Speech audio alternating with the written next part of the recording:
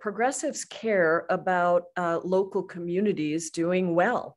And the way that local communities do well is to have a thriving small business economy. I mean, that is so central to how we think about um, healthy and vibrant communities. Every community across the country has small businesses, and people are very connected to their small businesses. And our small businesses often are very high road employers. They are very connected with the people who work in those small businesses, and they want to do right by them.